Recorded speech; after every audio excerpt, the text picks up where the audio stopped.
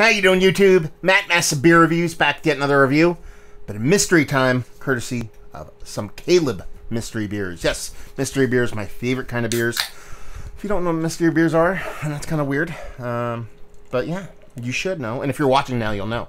Um, basically, crack open some beers, try to guess what the beer's all about. Not necessarily the exact beer that happens from time to time, um, but uh, just something fun to do. And what we have here, I mean, it looks very much obviously like a fruit beer. Eh, it could be floral, could be like hibiscus or something like that.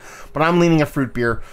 12 or 16 ounce can, sticker can, because there's nothing up here um, to show that there's a label on it. Dissipating pretty quickly.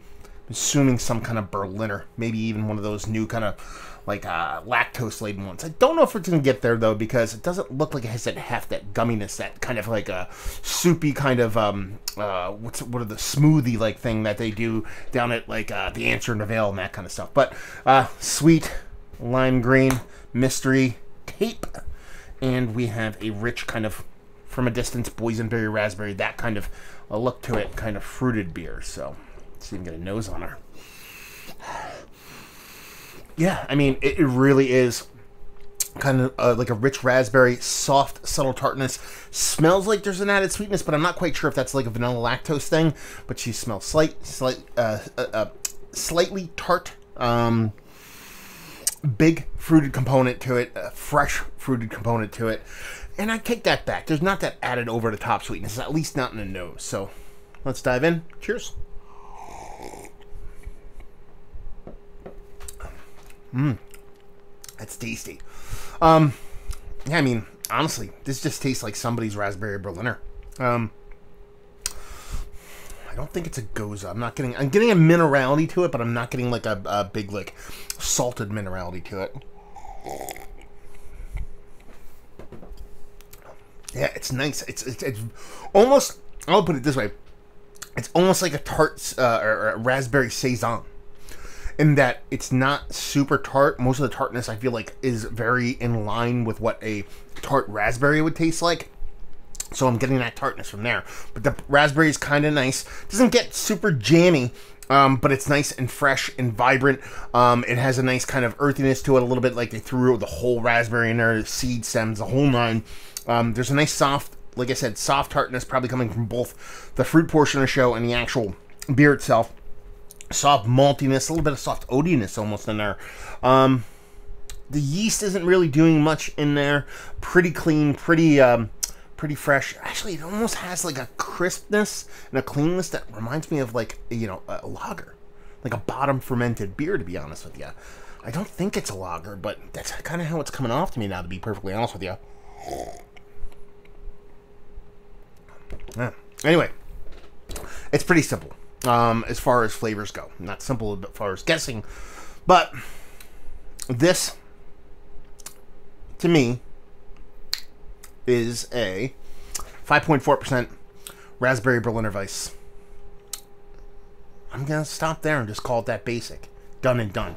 Who made this? Um, I don't know. It came from Maine, up Maine Way. This has very much um, Bissell vibes to it, but it could be from a bunch of different people. I could see um, Allagash doing something like this. Uh, Main Maine Brewing Company could come out with something like this, but they don't do cans. Um, but yeah, tasty. So what I say, 5.4% raspberry Berliner. I mean, that's all it is. I don't think there's anything additional to it. Don't think there's any lactose. If you told me there was additional fruit in there, like a little bit of like citrus rind or something like that, fine. I'd be okay with that. Um, definitely isn't barrel aged. Um, if you told me it was a Gose, I'd call it a stretch because, well, it doesn't have a minerality to it, doesn't have any kind of salinity to it. Um, da, da, da, ooh, ooh, ooh, Definitive Brewing Company. Haven't had anything from these guys. Sour Ale with wild Maine, blueberry, raspberry, and vanilla. So there is vanilla in there, and the ABV on this would be 6.3. There you go. So I was a whole point off on that one. The Definitive Brewing Company Portals. Uh, so sour ale with wild Maine, blueberry, raspberry, vanilla. I'm totally okay with that. I didn't get a huge blueberry thing on there. Um, it was more raspberry than anything else. But splitting hairs at that point.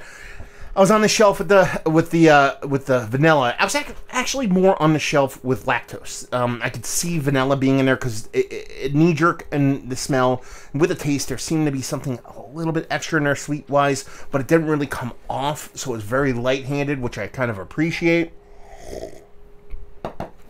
And she drinks a little bit smaller than that six and change. You know, I was more in the low fives. Was it six? Eight, was it again? Six eight? Did I say it was? Yeah, six three. So I said five four. So I was 0.9 off. There you go. But yeah, I really dig this. It's a really tasty beer. Like I said, it's more. To me, it's more sour from the fruit than it is from the beer itself. But this is a chugger, man. If this was like sub five percent, I would drink this all day. It's gonna have to drink just this one all today. Um, but yeah, I really dig it. Let's talk about it. Is one of the better um, kind of fruited Berliners. I mean, it is sick called a sour ale um, that I've had as of late. Actually, yeah, I dig it. The fruit is very thoughtful. The tartness of the beer is very subtle but meaningful.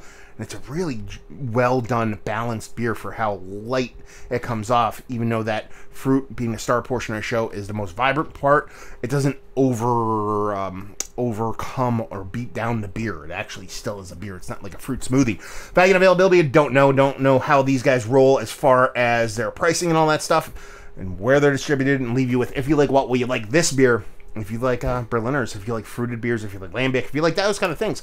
I mean, this is about as cool of a line you can toe between, you know, your your Framboise Lambics into American Sour Ale. It's kind of flirting in that blurring the lines thing.